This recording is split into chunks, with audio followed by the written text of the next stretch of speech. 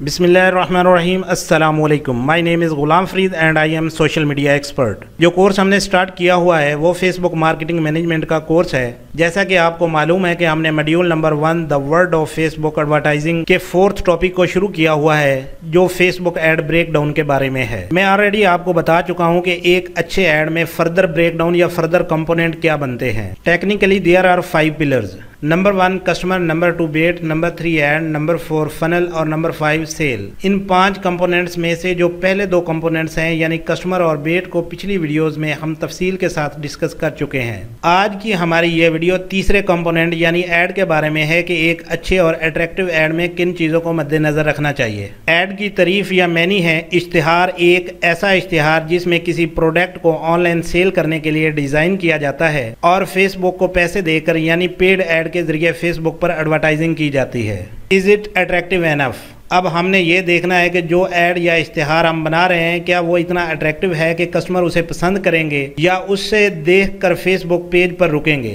آپ کا ایڈ یا اشتہار اتنا خوبصورت اور اچھا ہو کہ گاہک کی آنکھوں کو با جائے۔ ایڈ ایسا نہیں ہونا چاہیے جو گاہک کی آنکھوں کو چبے جب فیس بک پر لوگ یا آپ کے کسٹمر سویپنگ کر رہے ہوں یعنی فیس بک کو یوز کرتے ہوئے موبائل لیپ ٹاپ یا کمپیوٹر پر نیچے سے اوپر یا اوپر سے نیچے جا رہے ہوں اور وہ مختلف دوستوں کی پوسٹ دیکھ رہے ہوں اور اس کے علاوہ جو انہوں نے پیجز کو لائک کیا ہوا ہو، وہ ان کو دیکھ رہے ہوں۔ تو ایسے میں آپ کا ایڈ پاپ اپ کر جاتا ہے، تو کیا وہ ان کو اٹریکٹ کرے گا؟ اگر وہ اٹریکٹ نہیں کرتا، تو پھر یا تو آپ کے ایڈ میں گرافک کا مسئلہ ہے یا پھر ایڈ کاپی کا مسئلہ ہے کہ ایڈورٹائزنگ میں کیا کاپی استعمال ہوئی ہے۔ مینشن دا پین اس کے علاوہ ایک اور ضروری چیز ہے، جس کو آپ نے مد نظر رکھنا ہے، اس ایڈ کے اندر آپ نے گاہک کا واضح پین پوائنٹ مینشن کرنا ہے کہ آپ کا یہ درد تھا اور ہم اسے کیسے سولو کر سکتے ہیں؟ مثال لے لیجیے۔ اگر آپ ڈینٹسٹ ہیں اور لوگوں کو سکیلنگ یا ٹیتھ ویٹننگ کا بڑا مسئلہ ہے اور وہ اکثر ڈینٹسٹ کے پاس جاتے ہیں اور وہ مسئلہ حل نہیں ہوتا، تو کیا وہ پھر بھی ایسے ڈینٹسٹ کے پاس جائیں گے جو پہلے آپ کے دانتوں کے ساتھ اچھا برتاؤ نہیں کر پائے؟ جب لوگ ایسے مسئلے یا تکلیف سے گزر رہے ہوں، تو ایسے میں ان کے سامنے آپ کا ایڈ آ جائے اور اس ایڈ کی کاپی میں ان کا پین پوائنٹ مینشن کیا گیا ہو، جس کو دیکھتے ہی گاہک سمجھ جائیں کہ ہاں یہ صحیح کہہ رہے ہیں، یہ تو واقعہ ہی میرا مسئلہ ہے۔ It's نوٹسیبل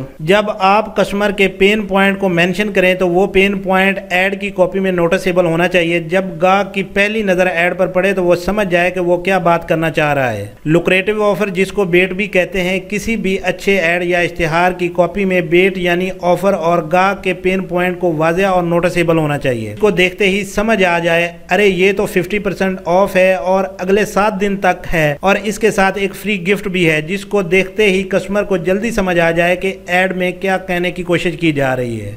emphasise on the bait ہم پھر اس بیٹ یا لوکریٹو آفر پر ایمفسائز کرتے ہیں، جو کہ بڑی لمٹڈ ٹائم کی ہوتی ہے۔ بڑی حد تک یہ بھی بیٹ استعمال کیا جاتا ہے کہ یہ ڈسکاؤنٹڈ آفر ہے جو لمٹڈ ٹائم کے لیے ہے۔ کچھ گھنٹوں کے لیے بھی یہ آفر ہو سکتی ہے اور پھر کاؤنٹ ڈاؤن شروع ہو جاتا ہے۔ کچھ international brand time based offer لگاتے ہیں۔ اس کے علاوہ کچھ برانڈ لوکریٹو آفر یا بیٹ میں دس دن، بیس دن یا ایک منتھ کی گارنٹی دیتے ہیں منی بیک وارنٹی کے ساتھ۔ جتنی زیادہ لمبی گارنٹی ہوگی، گاہک اسے اتنا ہی زیادہ زیادہ پسند کرتے ہیں۔ آگے چل کر ہم مزید اس کے بارے میں تفصیل کے ساتھ بات کریں گے۔ ایسا بہت ہی کم ہوتا ہے کہ گرنٹی کے دوران پروڈکٹ خراب یا ڈیمیج ہو اور ایسی صورت میں بھی گاہک بہت کم پروڈکٹ کو واپس یا ریپلیس کرتے ہیں۔ شاید و نادر ہی کوئی کسٹمر پروڈکٹ واپس کرتے ہوں۔ اگر کوئی گاہک ایسا کرتا ہے تو اس گاہک کو فوراً ہی فیور دینی چاہیے کیونکہ ہم نے اپنے گاہک کو لانگ ٹرم کے لیے ساتھ لے کر چلنا ہے۔ آپ کا بیٹ یا لوکریٹو آفر گارنٹی ہو سکتا ہے، آپ کا بیٹ ٹائم پیریڈ ہو سکتا ہے، آپ کا بیٹ پرسنٹیج آف ہو سکتا ہے، آپ کا بیٹ فری گفٹ ہو سکتا ہے، آپ کا بیٹ کچھ بھی ہو سکتا ہے، لیکن وہ جو گاہک کو اٹریکٹ بھی کرے۔ ان سب چیزوں کے باوجود آپ کا ایڈ بالکل سمپل ہونا چاہیے۔ آپ کا کانٹینٹ یا ایڈ کاپی اتنی بڑی نہ ہو جو آپ کے گاہک کو سمجھنے میں ٹائم لگے۔ آج کسی کے پاس اتنا ٹائم نہیں ہوتا کہ وہ اتنا لمبا کانٹینٹ پڑھ سکے۔ نیکسٹ میڈیول میں ہم کور کریں گے ایک اچھا ایڈ کیسے ہوتا ہے اور کس کس طرح سے بنتا ہے۔ اس ویڈیو میں ہم نے Facebook ad breakdown کے تھرڈ کمپوننٹ کو مکمل کر دیا ہے۔ اپنا بہت بہت خیال رکھیے گا۔ نیکسٹ کمپوننٹ کی ویڈیو تک کے لیے اجازت چاہتا ہوں۔ اللہ حافظ۔ دوستو ایڈز لاجکس اکیڈمی کو سبسکرائب کرنا مت بھولیے۔